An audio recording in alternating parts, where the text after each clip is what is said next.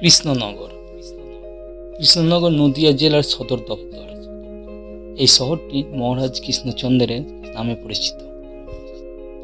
ওনারই নামকরণ থেকেই কৃষ্ণনগরের নাম করা হয়েছে। রাজত্ব না থাকলেও কৃষ্ণনগরের রাজবাড়ি আজও আছে।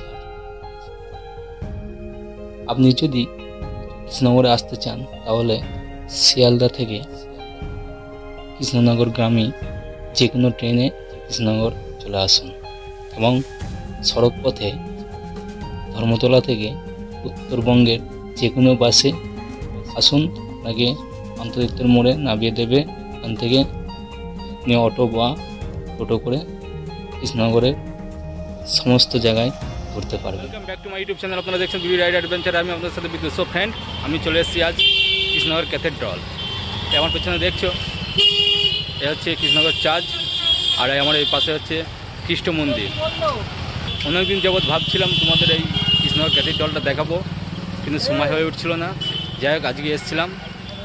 আর এই পেছনে, আমার পেছনে যে গির্জা, গির্জার মধ্যে যাব এবং মন্দির, এর বিশেষত্ব হচ্ছে এখানে পুরো কৃষ্ণনগর সিটিটাকে ছবি করে আঁকা আছে। তাহলে চলো দেরি না করে ভিডিও শুরু করা যাক আর ভেতরে ঢোকা যাক।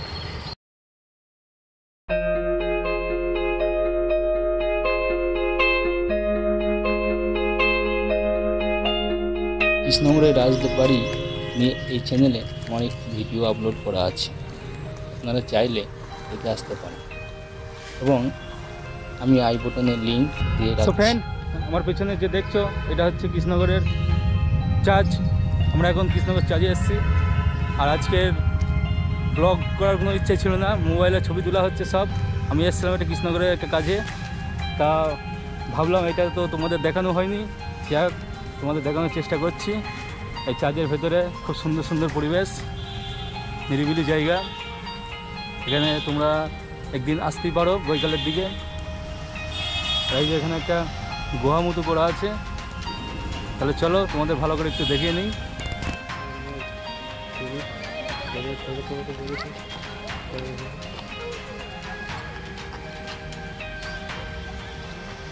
দাদা, আপনার বাড়ি কি এখানে? হ্যাঁ দাদা আমার বাড়ি এখানে। এই ইয়েটা সম্বন্ধে একটু বলুন তো এটা কত সালে তৈরি হয়েছিল? আমার তো এই সম্বন্ধে অত জ্ঞান নেই। পরবর্তী কৃষ্ণনগরে আসলে আপনাকে অবশ্যই আসতে হবে এই ক্যাথলিক চার্চে। কৃষ্ণনগরের অতি প্রাচীন ক্যাথলিক চার্চটির ভিতরে যীশুখ্রিস্টের জীবনী নিয়ে বিভিন্ন স্ট্যাচু ও তৈলচিত্র আছে।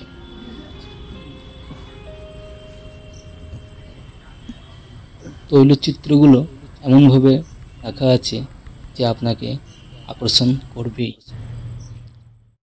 আর ঠিক এর পাশেই নতুন করে ছয় কোণা বিশিষ্ট এক বিশাল খ্রিস্ট মন্দির স্থাপিত করা হয়েছে। যাই হোক, আমি আপনাদের এটাকে দেখানোর চেষ্টা করছি। এর মধ্যে পুরো কৃষ্ণনগর সিটিটাকে সুন্দরভাবে পরিদর্শন করা আছে বা আঁকা আছে, তাহলে চলো।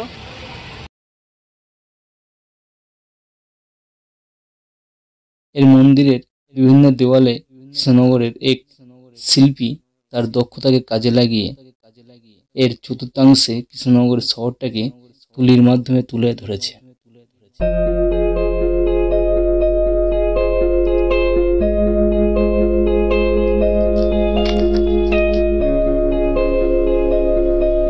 এছাড়া হলঘরের সমস্ত দেওয়ালে জুড়ে যিশুর জীবনী এবং সিলিংটা গম্বুজের মতো আরও এর ওয়ালে আকাশে তারার মতো নকশা করা আছে।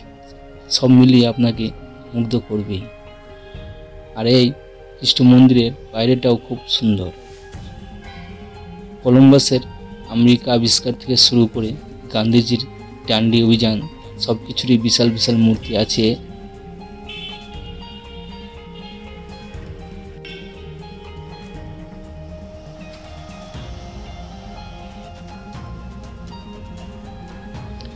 আর হ্যাঁ আপনাদের কয়েকটি কথা জানিয়ে রাখি। জায়গাটা ঠিক ঘোরার জায়গা হিসেবে প্রসিদ্ধ স্থান, তাই আগে থেকে একটু চিনে যাওয়া দরকার যে এখানে কি কি দেখার জিনিস আছে এবং তা কোথায় কোথায় আছে। দুজন ঘোরার জন্য টোটো হচ্ছে সবচেয়ে সুবিধাজনক। তবে লোক সংখ্যা বেশি হলে অটো ভাড়া করে নেওয়া যেতে পারে। আর সবশেষে বলি, এখানে দেখার জায়গা বলতে রাজবাড়ি, কলেজ, কদমতলা ঘাট, ঐতিহ্যময় কৃষ্ণনগর পৌরসভা, রবীন্দ্র ভবন, জলঙ্গির ব্রিজ, ঘূর্ণি আর এই চার্চ। এর মধ্যে রাজবাড়ির ভেতরে ঢুকতে দেয় না।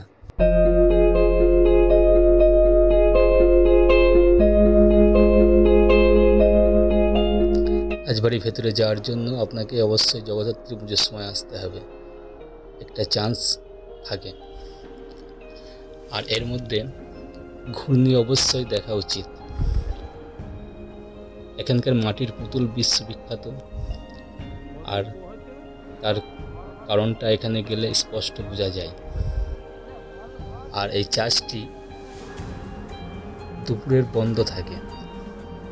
বিকেল চারটে খোলে এবং সকালে আটটা থেকে বারোটা পর্যন্ত খোলা থাকে।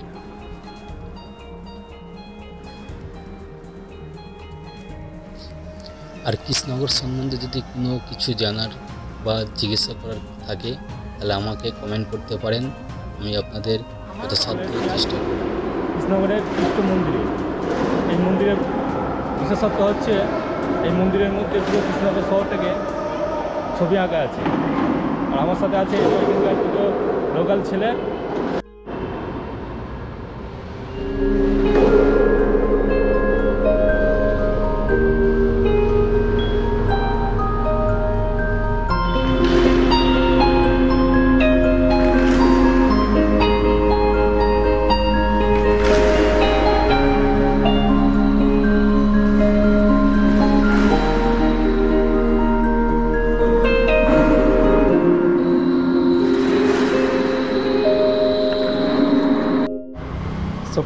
আশা করি তোমাদের এই মন্দিরটা পরিপূর্ণ দেখাতে পেরেছি। এরপরে আপনাদের দেখাবো এই যে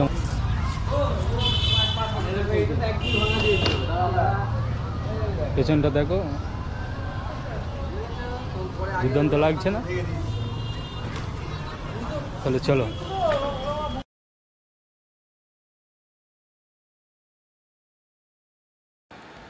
আর এই হচ্ছে মন্দিরের পেছন সাইড আপনি ফ্যামিলি নিয়েও আসতে পারেন, এখানে শৌচালয়ের সুব্যবস্থাও আছে। আর এখান থেকে বার হয়ে এবং আমরা এবার যাব আপনার ওই যিশুর ক্রুশ বিদ্ধকরণের কিছু ছবি দেখব।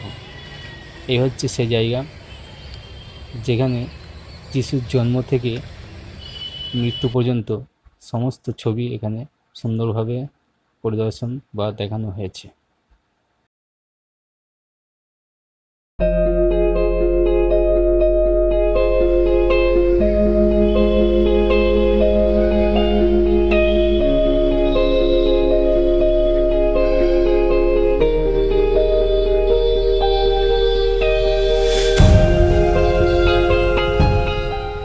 আর সবশেষে বলি কৃষ্ণনগরে কেন এত বিখ্যাত হ্যাঁ আপনারা কম বেশি সকলেই হয়তো জানেন কৃষ্ণনগর মাটির পুতুল এবং সরভাজার জন্য জগৎ জুড়ে এত লাভ করেছে এখানে ঘূর্ণিতে প্রচুর শিল্পী আপনি দেখতে পাবেন।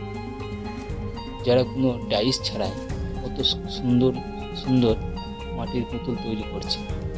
আর সর্বশেষে বলি, বাড়ি ফেরার পথে অবশ্যই শান্তিপুর মোড় থেকে আপনি সরভাজা নিয়ে আসতে ভুলবেন না জানি যাই হোক আজকের ভিডিওটি এই পর্যন্তই।